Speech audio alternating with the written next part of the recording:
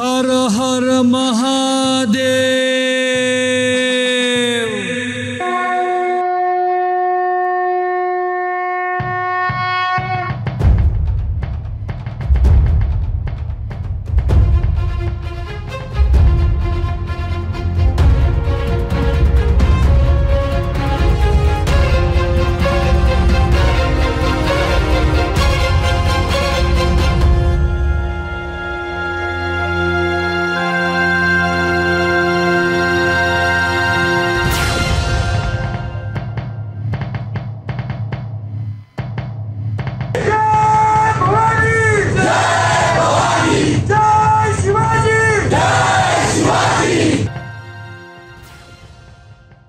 Hi friends. Chhatrapati Shivaji Maharaj గారి చరిత్ర రెండో భాగం మొదలు పెడదాం. భారతదేశం చరిత్ర మనం అర్థం చేసుకుంటేనే మనకు ఛత్రపతి శివాజీ మహారాజ్ గారి చరిత్ర సులువుగా అర్థమవుతుంది. అసలు ఏ సుల్తాన్లు ఎలా వచ్చారు? శ్రీకృష్ణదేవరాయల విజయనగర సామ్రాజ్యం ఎలా స్థాపించారు? ఎలా పతనమైందో మనం ముందుగా అర్థం చేసుకోవాలి. మహారాష్ట్ర కోంకణ్ క్షేత్రం మొత్తం ఒకవైపు సహయాద్రి పర్వత శ్రేణులు మరొక వైపు దండకారణ్యంతో కప్పబడి ఉంది. ఈ దండకారణ్యం సీతాలక్ష్మణ సమేత భగవాన్ శ్రీరామస్వామి పాదస్పర్శతో పవిత్రమైనది. శ్రీరామస్వామి సంచరించిన ఈ దండకారణ్యంలో ఆశ్రమాలు స్థాపించబడ్డాయి. ఈ ఆశ్రమాలు కాలక్రమేణా పల్లెటూర్లుగా రూపాంతరం చెంది అత్యంత సారవంతమైన నేల అవటం వలన వ్యవసాయం పుష్కలంగా సాగి సంపన్నమైన పట్టణాలుగా మారాయి. యాదవ్ వంశానికి చెందిన రాజులు వారి రాజ్యాన్ని ఈ దండకారణ్యంలో స్థాపించి వారు దేవగిరి పట్టణాన్ని రాజధానిగా చేసుకుని సుఖ సంతోషాలతో రాజ్యాన్ని పరిపాలించారు. ఏడు వందల ఇరవై ప్రాంతంలో మొదటిసారి మహమ్మదీయులు పర్సియా నుండి భారతదేశం చేరి ఒక చిన్న రాజ్యం నెలకొల్పారు. పన్నెండు వందల ఆరు ప్రాంతంలో టర్కీ నుండి వచ్చిన మామూలిక్ వంశానికి చెందిన మొహమ్మదీడైన కుతుబుద్దీన్ ఐబాక్ అనే రాజు ఢిల్లీలో మొదటి సుల్తాన్ రాజ్యాన్ని స్థాపించారు. ఈ మామూలిక్ వంశస్థులు పన్నెండు వందల తొంభై వరకు రాజ్యాన్ని కొనసాగించారు. పన్నెండు వందల ఎనభై ప్రాంతంలో జలాలుద్దీన్ మామూలిక్ రాజ్యంలో చిన్న అధికారిగా మొదలుపెట్టి తక్కువ సమయంలోనే సైన్యంలో ఉన్నత స్థాయికి చేరారు. ఆ సమయంలో రాజుగారి పక్షవాతం వచ్చి మంచాన పడితే మంత్రులు వెంటనే చిన్న వయసు వాడైన యువరాజుని రాజ్యానికి రాజుగా పట్టాభిషేకం చేయించారు. ఈ మంత్రులకు జలాలుద్దీన్ ఖిల్జీతో ఉన్న వైర్యం వలన కొత్త రాజుగారికి అతని గురించి తప్పుగా చెప్పి అతన్ని చంపించడానికి కిరాయి హంతకులను నియమించారు. ఈ విషయం ముందుగానే తెలుసుకున్న జలాలుద్దీన్ రాజుని మంత్రుల్ని హతమార్చి ఖిల్జీ రాజ్యాన్ని పన్నెండు వందల తొంభైలో స్థాపించారు. జలాలుద్దీన్ ఖిల్జీ చిన్నతనం నుండి పెంచిన తన మేనల్లుడు అల్లావుద్దీన్ ఖిల్జీకి తన కుమార్తెనిచ్చి వివాహం చేసి అతని కాన్పూర్ పరిసర ప్రాంతాలకి జనరల్గా నియమించారు. అల్లావుద్దీన్ ఖిల్జీ కన్ను అత్యంత సంపన్నమైన దేవగిరి రాజ్యం మీద పడ్డాయి. అతను దేవగిరిని కొల్లగొట్టాలని నిర్ణయించుకున్నాడు. ఆ సమయంలో దేవగిరిని రాజా రామదేవ్ గారు పాలిస్తున్నారు. కొన్ని సంవత్సరాల నుండి ఎటువంటి యుద్ధాలు గొడవలు తెలియని ఆ ప్రాంతం రాజులు సమయమంతా పూజలు పురస్కారాల కోసమే వినియోగించసాగారు. వారు సైనిక బలగాలను యుద్ధానికి సిద్ధం చేయటం వేగుల వ్యవస్థను నెలకొల్పడం వంటివి పూర్తిగా మర్చిపోయారు.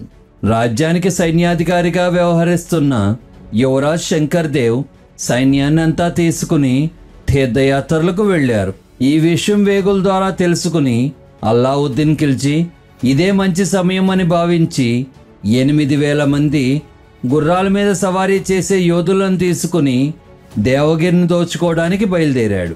ఖిల్జీ సైన్యం చాలా చిన్నది. దేవగిరి సైన్యం ముప్పై వేల పైనే.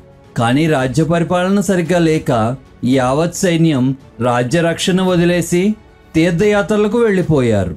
అల్లావుద్దీన్ ఖిల్జీ రాజధానికి వంద కిలోమీటర్ల దూరంలోకి వచ్చే వరకు వేగుల వ్యవస్థ లేకపోవడం వలన దేవగిరి రాజుకి ఖిల్జీ దాడి గురించి తెలియలేదు. ఆలస్యంగా తెలిసేసరికి ఇక చేసేది లేక మిగిలిన నాలుగు వేల మంది సైనికులతో రాజుగారు రాజధానికి రెండు కిలోమీటర్ల బయట యుద్ధం చేశారు. ఎంతో క్రూరులు బలశాలైన ఖిల్జీ సైన్యం ముందు దేవగిరి సైన్యం నిలవజాలక ఓటమి పాలయ్యారు వెంటనే రాజుగారు అందరినీ కోటలోకి తరలించి కోట ద్వారాలు మూసేశారు. దురదృష్టం దేవగిరి మీద ఎలా పగబట్టిందో చూడండి. ఖిల్జీ వద్ద కోటలను ధ్వంసం చేసే యంత్రాలు కానీ పరికరాలు కానీ లేవు. అదీ కాకుండా ఖిల్జీకి తన వద్ద సమయం లేదని తెలుసు. తీర్థయాత్రలకు వెళ్ళిన యువరాజు సైన్యంతో తిరిగి వస్తే తన పరిస్థితి ఏమవుతుందో అతనికి బాగా తెలుసు. అందుకని అతను మేక గాంభీర్యం ప్రదర్శిస్తూ మేము ముందుగా చర్చలకు వచ్చే చిన్న సైన్యం మాత్రమే. అసలు బలగాలు ఢిల్లీ నుండి వెనక వస్తున్నాయి. ఆ బలగాలు ఇక్కడికి చేరితే మీ దేశాన్ని భూస్థాపితం చేసి వెళ్ళిపోతాయి. మీ మంచి కోసం మాతో సంధి చేసుకోవడం మీకు మేలు. లేకపోతే జరిగే ప్రాణ నష్టంతో మాకు సంబంధం లేదు అని సందేశం పంపించాడు.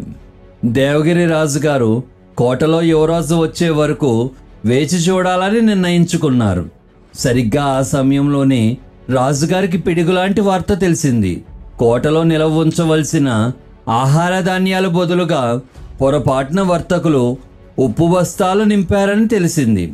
ఇటు సైన్యం లేక అటు ఆహార ధాన్యాలు లేక ఏమి చెయ్యాలో రాజుగారికి అస్సలు అర్థం అవ్వలేదు అందుకని రాజా రామదేవరావు వెంటనే ఓటమి ఒప్పుకుని ఖిల్జీకి భారీ మొత్తంలో ధనం ఇవ్వటానికి సంధి చేసుకున్నాడు.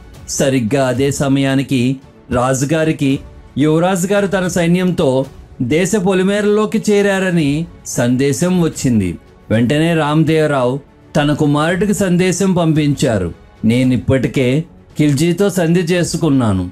నీవు వారితో యుద్ధం చెయ్యకు. వారి వెనక పెద్ద సైన్యం ఢిల్లీ నుండి వస్తున్నది అని సందేశం పంపించాడు. కానీ యువరాజు ఖిల్జీని ఎదుర్కోవాలని నిర్ణయించుకున్నాడు. యువరాజు వస్తున్నాడని ఖిల్జీకి వేగుల ద్వారా తెలిసింది. ఖిల్జీ చావో విజయమో తేల్చుకుందాం అనే నిర్ణయానికి వచ్చాడు. కానీ ఖిల్జీ జిత్తులు మారి నక్క వంటివాడు. అతను తన సైన్యంలో వెయ్యి మంది యోధులను అక్కడే ఉంచి మిగిలిన వారితో యువరాజు మీద యుద్ధానికి వెళ్ళాడు. యుద్ధం హోరాహోరీగా సాగుతున్నది. ఎన్నో రెట్లు పెద్దదైన దేవగిరి సైన్యం ఖిల్జీ సైన్యాన్ని చిన్నాభిన్నం చేస్తున్నది. ఇక పరాజయం తప్పదనే సమయంలో ఖిల్జీ వెనక వదిలిన వెయ్యి మంది హస్వాల్ మీద యుద్ధ ప్రాంగణానికి రాసాగారు.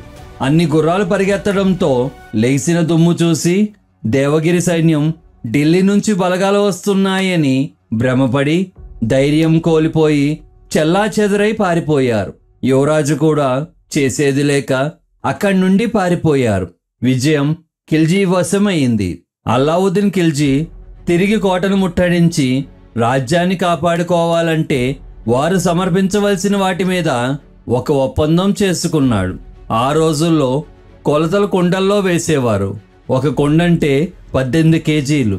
ఆ ఒప్పందానికి అనుగుణంగా దేవగిరి రాజ్యం కిల్జీకి ఆరు వందల కుండలు బంగారం ఏడు కుండలు ముత్యాలు రెండు కుండలు వజ్రాలు వెయ్యి కుండలు వెండి నాలుగు వేల టన్నుల పట్టు సమర్పించారు. ఇది కాకుండా స్త్రీ వ్యామోహం కలిగిన కిల్జీ రామదేవరావు కుమార్తెను వివాహం చేసుకుని తనతో తీసుకువెళ్ళాడు. ఇది సరిపోదన్నట్లు వారు ఢిల్లీ నుండి వచ్చి వెళ్ళినందుకు అయిన దారి ఖర్చులు కూడా దేవగిరి ప్రభుత్వం భరించవలసి వచ్చింది. అలాగే ప్రతి సంవత్సరం దేవగిరి రాజ్యం ఢిల్లీ సుల్తాన్లకు శిస్తు కట్టవలసి వచ్చింది. ఈ ఖిల్జీ తర్వాత చిత్తూరు కోటపైన దాడి చేశారు. ఈ సంఘటన వచ్చే భాగంలో వస్తుంది. కొంతకాలం తర్వాత రాజా రామదేవరావు తన కుమారుడు శిస్తు కట్టడానికి అంగీకరించటం లేదని ఖిల్జీకి సందేశం పంపించాడు. వెంటనే ఖిల్జీ తన జనరల్ మాలిక్ కపూర్ని పిలిచి దేవగిరిని చిన్నభిన్నం చేసి రాజును బంధించి చెరసాల్లో వేయి అని ఆదేశించాడు. మాలిక్ కపూర్కి యువరాజ్కి మధ్య హోరాహోరీ యుద్ధం జరిగింది. ఆ యుద్ధంలో మాలిక్ యువరాజ్ శంకర్ దేవుని ఓడించి రాజా రామదేవరావును బంధించి చెరసాల్లో వేసి దేవగిరి ఖసానా మొత్తం దోచుకుని ఆ సంపదతో ఢిల్లీ చేరాడు.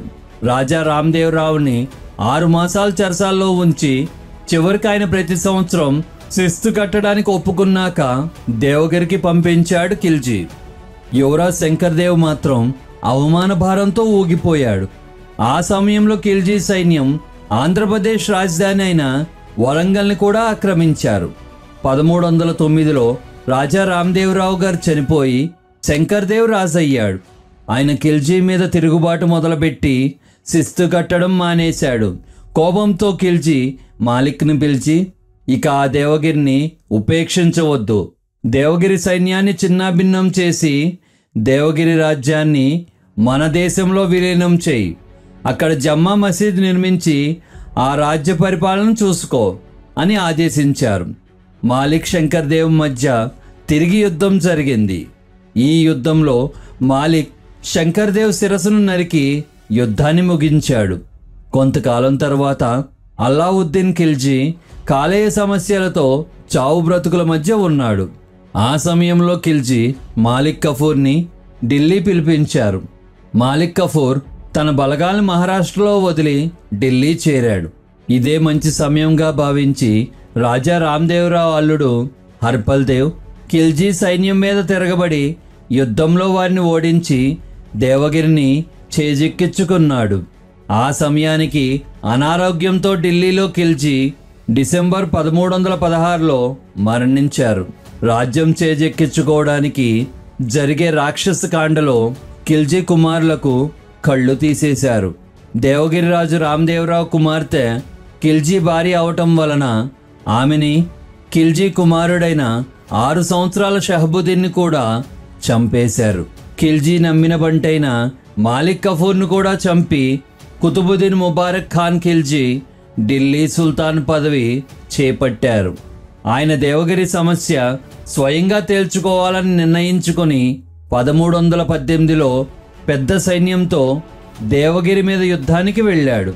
దేవగిరితో యుద్ధంలో రాజా రామదేవరావు అల్లుడైన హర్పల్ దేవుని సజీవంగా బంధించి అతని దేవగిరి కోట ద్వారానికి కట్టి సజీవంగానే తోలు వలవమని ఆదేశాలిచ్చి తమ రాక్షస గుణాన్ని చాటుకున్నారు సుల్తాన్ గారు. మహారాష్ట్ర అలాగే డెక్కన్ ప్రాంతంలో ఉన్న సాధువులు పండితులను కిరాతకంగా చంపడం మొదలుపెట్టారు. ముబారక్ ఖాన్ ఖిల్జీ పదమూడు వందల ఇరవై వరకు పాలించారు. పదమూడు వందల ఇరవై నుండి పదమూడు వందల నలభై ఏడు వరకు ఢిల్లీని తుగ్లక్ సుల్తాన్లు పాలించారు. ఈ తుగ్లక్ సుల్తాన్ల కింద డెక్కన్ ప్రాంతానికి కమాండర్గా అలాగే గవర్నర్గా పనిచేసిన నజీరుద్దీన్ ఇస్మాయిల్ షా ఆగస్టు మూడు పదమూడు వందల నలభై ఏడులో తన పదవి నుండి తప్పుకుని తన స్థానంలో బహ్మన్ షాని నియమించారు. ఈ బాహ్మన్ షా ఢిల్లీ సుల్తాన్లకు విరుద్ధంగా తిరుగుబాటు చేసి హసన్బాద్ని రాజధానిగా చేసుకుని తన స్వతంత్ర రాజ్యాన్ని నెలకొల్పారు. ఈ రాజ్యమే బాహ్మనీ సుల్తాన్. బాహ్మన్ షా తర్వాత అతని కుమారుడు మహమ్మద్ షా రాజయ్యాడు. అతను క్రూరత్వం మూర్తిభవించిన రాక్షసుడు.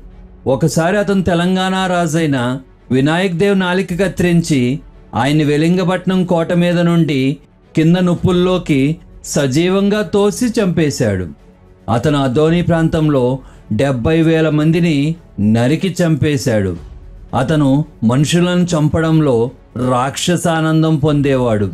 తర్వాత కాలంలో అతను కర్ణాటక పొలిమేరు ప్రాంతాల్లో ఎన్ని లక్షల మందిని ఒక్కసారి వధించారో లెక్క కూడా అందలేదని చరిత్రకారులు చెప్తున్నారు. కనిపించిన ప్రతి దేవాలయం అతను ధ్వంసం చేశాడు.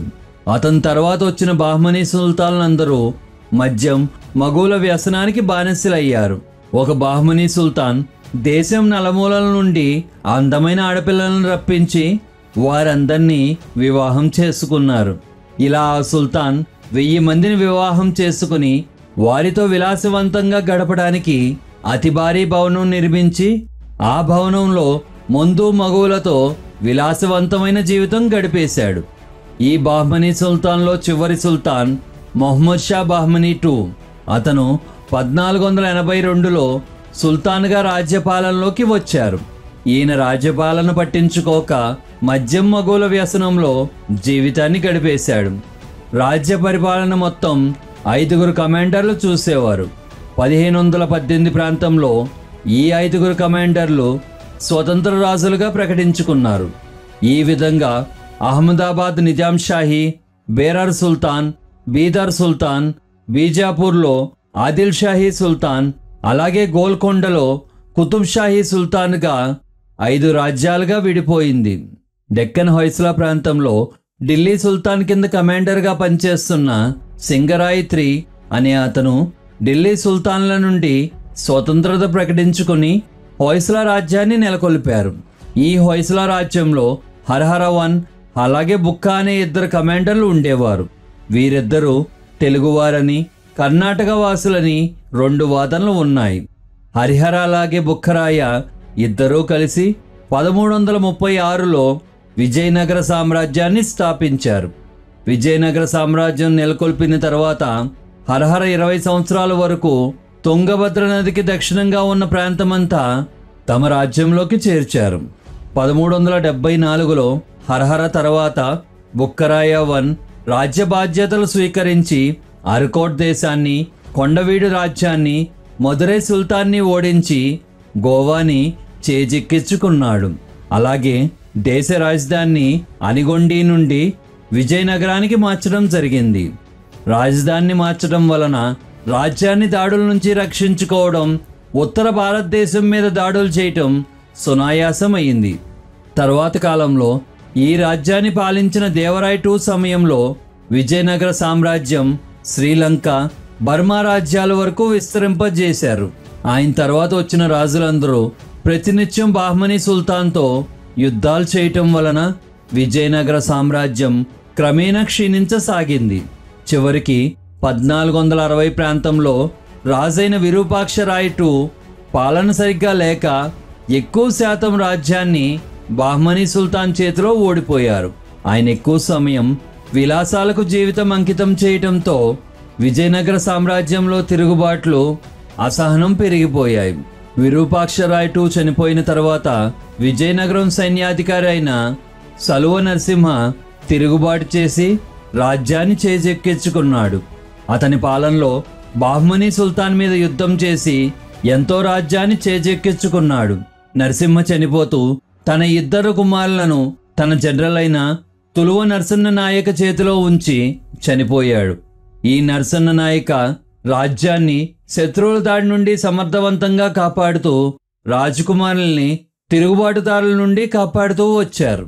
పదిహేను వందల మూడులో నాయకుమారుడైన వీర నరసింహ ఆ రాకుమారులను హతమార్చి రాజుగా విజయనగరం సింహాసనాన్ని అధిరోహించారు. ఆయన రాజైన నాటి నుండి దేశంలో తిరుగుబాట్లు ఎక్కువ అవటం బాహ్మని సుల్తాన్ల దాడుల వలన విజయనగరం పతనం అవటం మొదలైంది. ఇక పరిస్థితి చేయి దాటిపోతున్నదని అర్థమై పదిహేను వందల తొమ్మిదిలో నాయక్ రెండో కుమారుడైన శ్రీకృష్ణదేవరాయ రాజసింహాసనాన్ని అధిరోహించారు. ఈయన పాలనా సమయం విజయనగరం చరిత్రలో సువర్ణయుగంగా చెప్తారు. ఈయన తిరుగుబాట్లను అణిచివేసి విజయనగరాన్ని అన్ని రంగాల్లో ముందుకు నడిపించారు. ఆయన వీరోచితంగా యుద్ధాలు చేసి బీజాపూర్ సుల్తాన్ను ఓడించారు. శ్రీకృష్ణదేవరాయ రాయచూర్ గుల్బర్గాలను చేజెక్కించుకున్నారు ఆయన పాలన సమయంలో విజయనగర సామ్రాజ్యం ఒడిశా వరకు విస్తరించింది.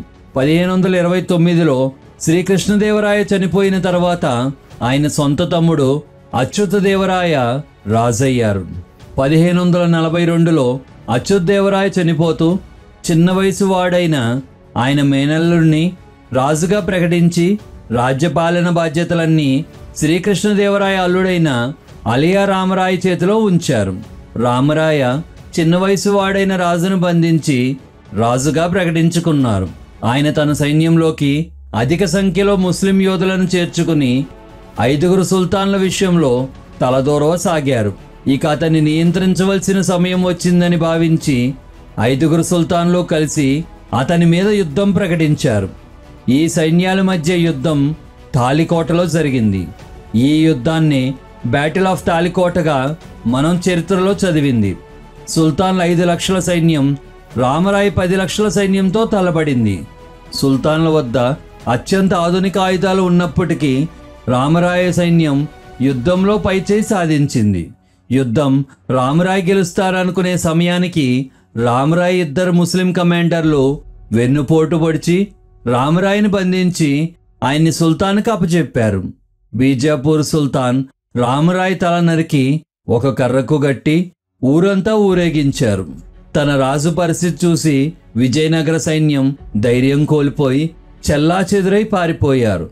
ఇంతటితో విజయనగరం యుద్ధం ఓడిపోయి పూర్తిగా పతనమైపోయింది. పదిహేను వందల డెబ్బై నాలుగులో డెక్కన్లో వచ్చిన ఈ ఐదు సుల్తాన్ రాజ్యాల్లో బేరర్ సుల్తాన్ని అహ్మదాబాద్కి చెందిన నిజాంషాహీ సుల్తాన్ ఆక్రమించింది. అలాగే పదహారు వందల పంతొమ్మిదిలో బీదర్ సుల్తాన్ని బీజాపూర్ సుల్తాన్ ఆక్రమించేసింది. అందువలన డెక్కన్లో పదహారవ శతాబ్దం మొదలయ్యేసరికి ఐదు సుల్తాన్ల స్థానంలో మూడు సుల్తాన్లు మాత్రమే మిగిలాయి. అహ్మదాబాద్కి చెందిన నిజాం షాహీ సుల్తాన్ బీజాపూర్కి చెందిన ఆదిల్ షాహీ సుల్తాన్ అలాగే గోల్కొండ ప్రాంతానికి చెందిన కుతుబ్ షాహీ సుల్తాన్ మాత్రమే మిగిలాయి. ఉత్తర భారతదేశమంతా మొఘల్ సామ్రాజ్యం ఆధీనంలో ఉండేది. ఈ సమయంలోనే ఛత్రపతి శివాజీ మహారాజ్ తండ్రి గారైన షాజీ ప్రస్థానంతో ఈ సుల్తాన్లు ఏమయ్యాయో మీకు అర్థమవుతుంది ఇక్కడితో ఈ భాగం పూర్తయింది. వచ్చే భాగంతో మళ్ళీ కలుద్దాం. Bye friends